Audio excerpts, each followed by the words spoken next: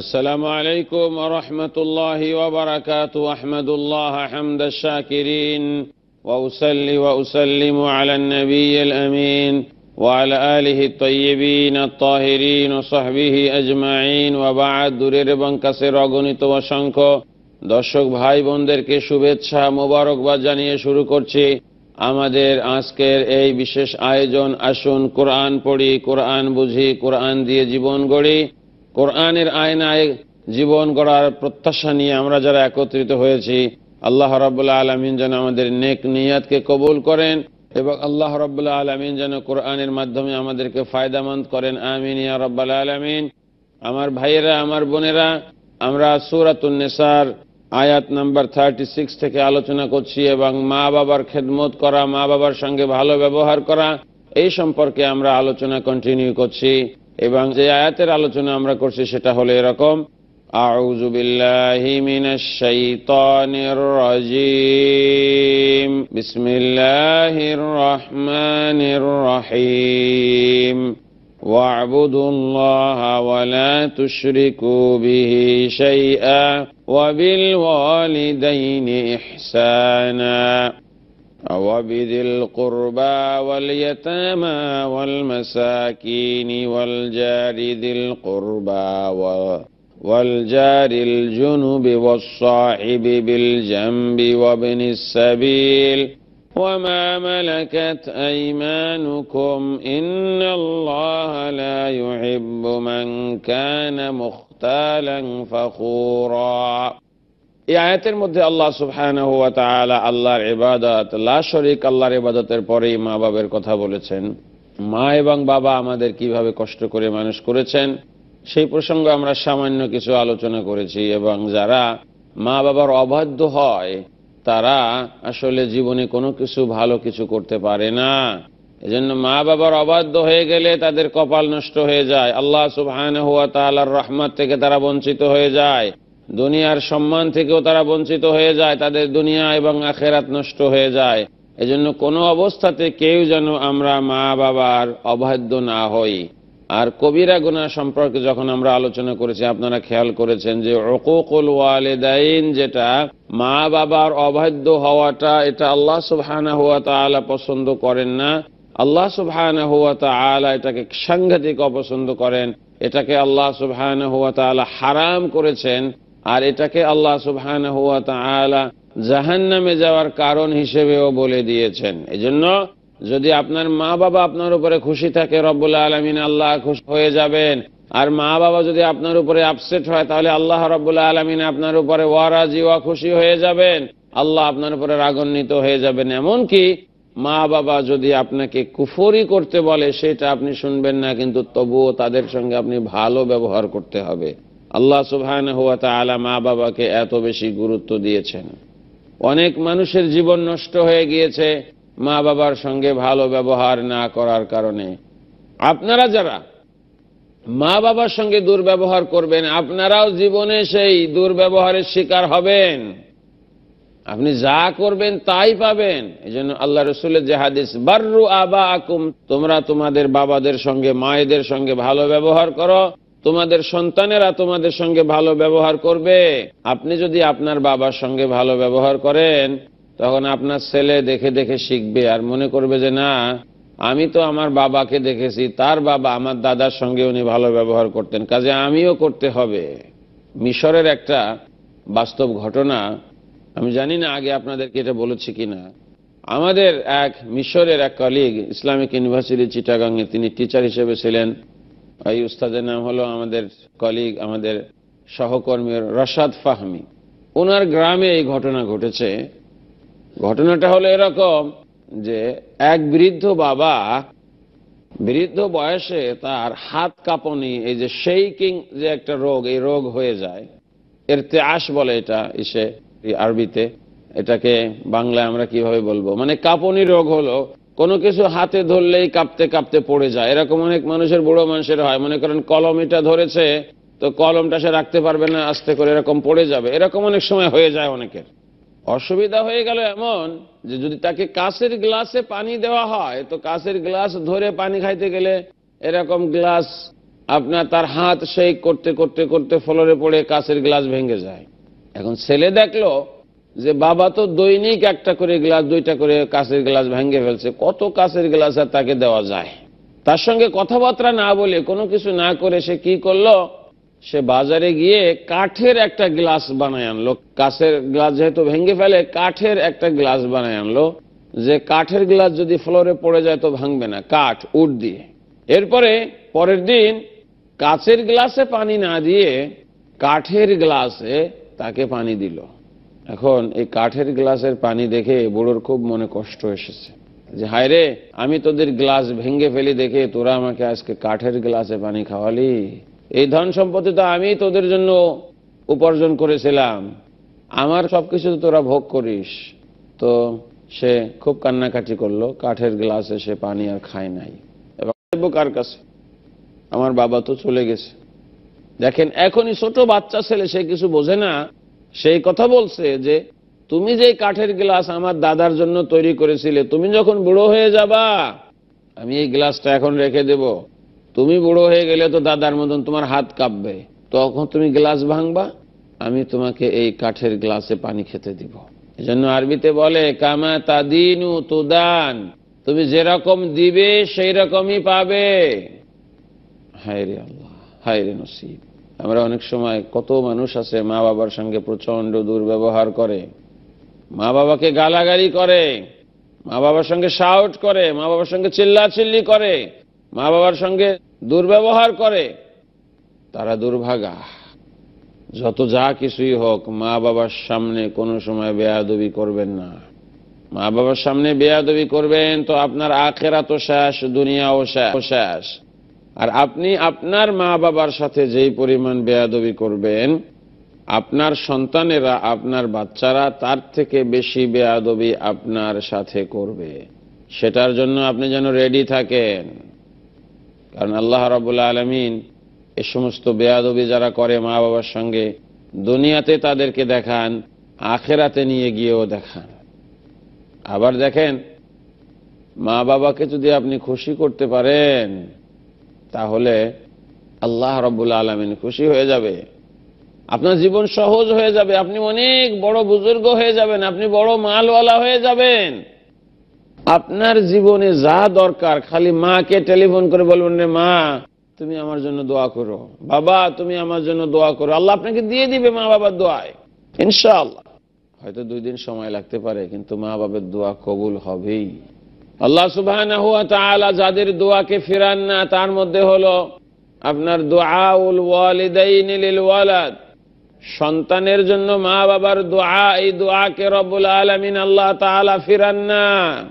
দোয়া উল মজলুম, এটাকে আল্লাহ রব্বুল আলমিন ফিরান না। মুসাফিরের দোয়া, আল্লাহ এই দোয়াকে কবুল করেন। কাজেই আপনার মা বাবা আপনার জন্য যে দোয়া করবে, এই দোয়া রব্বুল আলমিন আল্লাহ তালার কাছে কবুল হয়ে যাবে। আপনার যা কিছু প্রয়োজন, আপনার মাকে আপনি বলেন, আপনার বাবাকে বলেন, তাদের দোয়া আপনি চান। তাদের দোয়ায় আপনার ভাগ্য পরিবর্তন হয়ে যাবে। এই যে, আমাদের তো নিশ্চয়ই মনে আছে যে বাইজিদ বুস্তামি রহমতুল্লাহ আলাইহের জীবনের ঘটনা, আমরা তো ছেলে মেয়েদেরকে বলি, কবিতাও আছে তার উপরে। বাইজিদ বুস্তামির কবিতা আছে, যে তার মা অসুস্থ ছিলেন। রাত্রিবেলা হঠাৎ করে উঠে তিনি তার ছেলে বাইজিদকে বললেন, বাবা, আমাকে পানি খাওয়াও।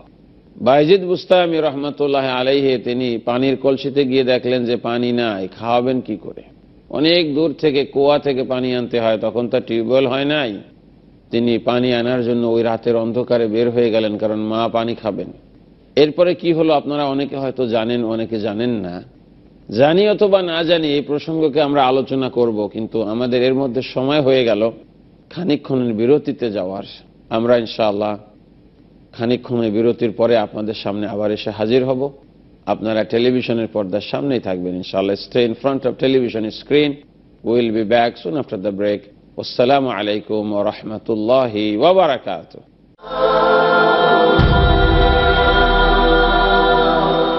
বারাকাতুহু আলাইকুম wa barakatuh. Welcome back after the break. বিরতির পরে আপনাদেরকে স্বাগত জানাচ্ছি। আপনাদেরকে ওয়েলকাম করছি। আমরা আলোচনা করছিলাম যে মায়ের দোয়া হলে পরে মানুষের জীবন কীভাবে সুন্দর হয়ে যায়। বাইজিদ বুস্তামি রহমতুল্লাহ আলাইহের মা পানি খেতে চেয়েছেন, অসুস্থ মা। পানি খাবেন বলে বাইজিদ যখন কলসিতে পানি আনতে গেল, দেখল কলসের মধ্যে কোনো পানি নাই।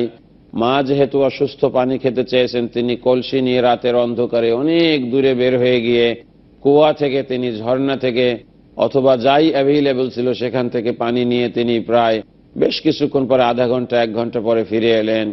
ফিরে এসে দেখলেন যে অসুস্থ মা পানি খেতে চেয়েছেন, ঠিকই তিনি ঘুমিয়ে গেছেন। আমি গিয়ে দেখি যে কলসে পানি নাই। তখন আমি কুয়া থেকে পানি নিয়ে আসি এবং কলস থেকে গ্লাসে পানি ঢেলে আমি তোমার জন্য অপেক্ষা করছি। তুমি যখন ঘুম থেকে উঠবা, তোমাকে পানি খাওয়ায়ে তারপরে আমি ঘুমাতে যাব। কিন্তু তুমি সারা রাত ওঠো না, এজন্য আমি আর যেতে পারি নাই। যে, বাবা, তুমি আমার শীতানের পাশে গ্লাস রেখে চলে যেতে। যে, না, মা, তুমি অসুস্থ, যদি তোমার কষ্ট হয়, তুমি যদি পানিটা খেতে না পারো, সেজন্য আমি ঘুমাই নাই।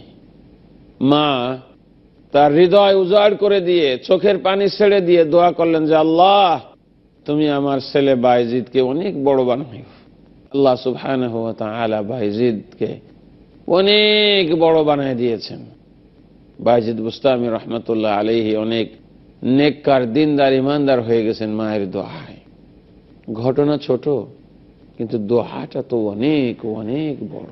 সুবহান বুখারি শরীফের হাদিস আপনারা অনেকেই এই হাদিস সম্পর্কে জানেন যেটাকে হাদিসুল গার বলা হয়, যে পাহাড়ের গুহার হাদিস। তিনজন লোক, তারা এক পাহাড়ের গুহার মধ্যে আটকা পড়ে যায়। তারা পাহাড়ে গিয়েছিল, হঠাৎ করে প্রচণ্ড ঝড়, বৃষ্টি, টর্নেডো শুরু হয়ে যায়। টর্নেডো শুরু হয়ে যাওয়ার কারণে তারা এক পাহাড়ের গুহার মধ্যে আশ্রয় নেয়। টর্নেডো, ঝড়, বৃষ্টি, বাতাসের হাত থেকে বাঁচার জন্য। আল্লাহর কি ফয়সালা?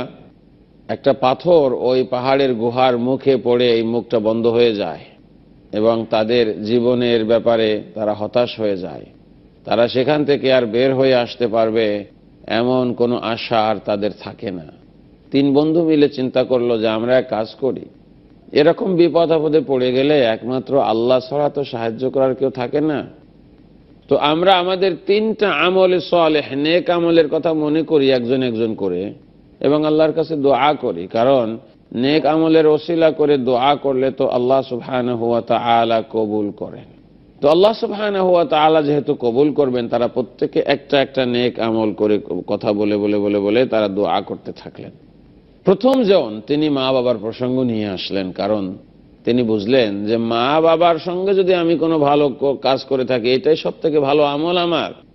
আমি এইটার অশিলা করে আল্লাহ তালার কাছে দোয়া করি, রব্বুল আলমিন যদি আমাদের ওয়ে আউট বের করে দেন, আমাদের গুহার মুখ থেকে পাথরখানাকে যদি আল্লাহ রব্বুল আলমিন রিমুভ করে দেন, তাহলে আমরা এখান থেকে বের হয়ে যেতে পারব ইনশাআল্লাহ। তিনি বললেন যে, আল্লাহ, তোমার জানা আছে, আমি আমার মা বাবার খেদমত কীভাবে করেছি? আমি আমার উট, ছাগল, ভেড়া, এগুলোকে নিয়ে আমি বের হয়ে যেতাম এবং বের হয়ে সন্ধ্যার সময় যখন এই উট, ছাগল, ভেড়াগুলোকে নিয়ে ফিরে আসতাম আমাদের দুধ দহন করতাম। দুধ কালেক্ট করার পরে আমি প্রতিদিন আমার ছেলে মেয়েদেরকে স্ত্রীকে দুধ খাওয়ানোর আগে আমার মা বাবাকে সব সময় আমি দুধ খাওয়াইছি আল্লাহ। একদিন কি হলো? আমি আমার উট, ছাগল, ভেড়াদেরকে ঘাস খাওয়াতে অনেক দূর যেতে হয় আমাকে। আসতে আসতে প্রায় এশান নামাজের টাইম হয়ে যায়, দেরি হয়ে যায় আমার। এই দেরি অবস্থাতে এসে আমি এরপরে দুধ দোহাই, দুধ কালেক্ট করি, দুধ দোয়ানোর পরে আমি যখন আমার মা বাবাকে দুধ খাওয়ানোর জন্য গেলাম, তখন দেখলাম যে আমাদের মা বাবা, আমার মা বাবা দুইজনই তারা ঘুমিয়ে গেছেন, তারা মুরব্বী মানুষ। না খেয়ে তারা এই দিন ঘুমায় গেছেন। আমার সন্তানেরা জেগেছিল, দুধের জন্য, খাবারের জন্য তারা চিৎকার করতেছিল। কিন্তু আল্লাহ তোমার জানা আছে, আমি আমার ছেলে মেয়েদেরকে দুধ খাওয়াই নাই যে আমার মা বাবাকে আমি আগে খাওয়াবো, তারপরে আমার ছেলে মেয়েদেরকে খাওয়াবো। এমতো অবস্থায় সারা রাত পার হয়ে যায়।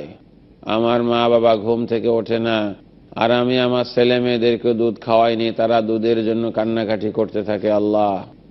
তুমি জানো যে আমি আমার মা বাবার এই যে মা বাবাকে খাওয়াবো, আমি বাচ্চাদেরকে খাওয়ানোর আগে এই আমল যে আমি করেছি, এই আমল একমাত্র আল্লাহ তোমাকে খুশি করার জন্য করেছি, আল্লাহ।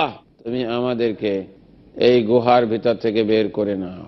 হাদিসের মধ্যে এসেছে, এই যে মা বাবার খেদমতের দোয়া, মা বাবার খেদমতের ওসিলা করে দোয়া, আল্লাহ সুবাহ এই দোয়াকে কবুল করলেন এবং গুহার মুখ থেকে পাথর একটু সরে গেল। কিন্তু যতটুকুন সরেছে, বাহিরের সামান্য আলো বাতাস দেখা যায়, কিন্তু বের হয়ে আসা সম্ভব না। ডিফিকাল্ট দ্বিতীয় জনে বলল, আল্লাহ, তোমার জানা আছে, এক লোক আমার কাছে কাজ করতে আসে এবং সে আমার কাছে একদিন কাজ করে। কাজ করার পরে আমি তার ওয়েজেস তার বেতন তাকে দেই। সে বলল যে, না, বেতনের পরিমাণ এটা কম, অথচ আমরা ওই পরিমাণে অ্যাগ্রি করেছিলাম। বেতনের টাকাটা ফেলায় রেখে চলে যায়। আমি চিন্তা করলাম যে অন্য মানুষের হক, এই হকটা আমি কাজে লাগানো উচিত। আমি এই বেতনের টাকা দিয়ে একটা ছাগল কিনি। এই মহিলা ছাগল থেকে একে একে ছাগলের প্রোডাকশন হতে হতে কয়েকশো ছাগল হয়ে যায়। কয়েক বছর পরে লোকটা ফিরে এসে বলে যে, আল্লাহকে ভয় করো আর আমি যে তোমার এখানে কাজ করেছিলাম, আমার পাওনা দিয়ে দাও। তখন আমি লোকটাকে যতগুলো ছাগল হয়েছিল, সব ছাগল তাকে দিয়ে দেই। সে বলে, আমি তো একদিন কাজ করেছিলাম, এত ছাগলের হকদার তো আমি নই। তখন আমি তাকে বলেছিলাম, ছাগলকে তোমার একদিনের বেতনকে আমি ইনভেস্ট করেছি এবং ইনভেস্ট করার কারণে আল্লাহ এত বরকত দিয়েছেন। সে সবগুলো ছাগল নিয়ে চলে যায়। আল্লাহ, এই যে আমানতদারি আমি রক্ষা করেছি, এটা একমাত্র আল্লাহ তোমাকে খুশি করার জন্য তুমি জানো। আল্লাহ, তুমি আমাদেরকে গুহা থেকে মুক্তি দাও। আল্লাহ আরও একটু এটাকে ওপেন করে দিলেন, কিন্তু বের হওয়া যায় না। শেষের জন বলল, আল্লাহ, আমার চাচাতো বোনের সঙ্গে সম্পর্ক ছিল। আমি তার সঙ্গে একান্তে মিলিত হতে চেয়েছিলাম, কিন্তু অনেক টাকা পয়সার ডিমান্ড সে করে। আমি ইয়াং ম্যান কাজ কাম করে পয়সা জোগাড় করে তাকে পয়সা দিয়ে ফেললাম এবং একদম ফাইনাল মুহূর্তে হয়ে গেল যেখানে আর কেউ ছিল না কাপড় চোপড় খোলা হয়ে গিয়েছিল। হঠাৎ করে আমার চাচাতো বোন আমাকে বলে, ইয়া আবদাল্লাহ, ইত্তাকিল্লাহ, হে আল্লাহর বান্দা, আল্লাহকে ভয় করো। তোমার নামে যখন সে আমাকে বলেছে আমি এই সর্বশেষ উত্তেজনার মুহূর্ত থেকে আমি লাভ দিয়ে উঠে যাই, আর আস্তা আস্তাগফিরুল্লাহ, আমি এই কাজে লিপ্ত হব না। আল্লাহ, সেদিন তোমাকে ভয় করে আমি এই কাজ থেকে বিরত থেকেছিলাম। যদি এই কাজ তোমাকে খুশি করার জন্য করে থাকি, তুমি এই গুহা থেকে আমাদেরকে মুক্ত দাও। আল্লাহ সুবহান হুয়া তালা গুহা থেকে মুক্তি দিলেন এবং পাথরটা বাকি অংশ সরে গেল। এবং তারা তিনজনে গুহার ভিতর থেকে বের হয়ে আসতে পারলেন। আলহামদুলিল্লাহ রবিল আলমী আমার ভাইরা আমার বোনেরা জন্য আপনি যদি আল্লাহর কাছে কোনো কিছু চান, তো মা বাবার যদি কোনো খেদমত করে থাকেন, ওই খেদমত রসিলা করে বলেন, আল্লাহ, আমার মার জন্য আমি শাড়ি কিনে দিয়েছিলাম, আমার মার জন্য কাপড় কিনে দিয়েছিলাম, আমার বাপকে টাকা দিয়েছিলাম, আমার বাপের এই খেদমত করেছিলাম, বাপের পা ধোয়াই দিয়েছিলাম, বাপকে ওষুধ দিয়েছিলাম, বাপকে এই ব্যবস্থা করে দিয়েছিলাম, বাড়ি বানায় দিয়েছিলাম আল্লাহ, ওই ওসিলায় তুমি আমার দোয়া কবুল করবে। আমালে সালের ওয়াইফ যত বড় শিক্ষিতা হোক না কেন ওয়াইফকে আপনি খুশি করার জন্য শ্বশুর বাড়ির লোকজনকে খুশি করার জন্য মুরব্বী আমাদের গ্রামের মানুষ। যে জহরি সাহেব বেঁচেছিলেন, জহরি সাহেব খুব ভালো জহরির জাম্বিল বইতে উনি উল্লেখ করেছিলেন যে, বাবা হলেন গ্রামের মানুষ। এরকম আপনার অফিসার, এরকম জজ, ব্যারিস্টার দিয়ে আমাদের কোনো লাভ নাই। কারণ যারা নিজের বাবার পরিচয়, যারা ভুলে যায়, তারা ভালো মানুষ নয়। এজন্য আসুন, আমরা আমাদের বাবার খেদমত করতে থাকি। আমরা আমাদের বাবা মায়ের সঙ্গে সুন্দর ব্যবহার করি। আমাদের জীবনও সুন্দর হবে। আপনাদের সঙ্গে আবারও দেখা হবে। আজকে যে আপনারা আমাদের সাথে ছিলেন, সেজন্য আপনাদের সবাইকে অনেক অনেক শুক্রিয়া। আসসালামু আলাইকুম ওরহমতুল্লাহি ওবরাকাত 哦。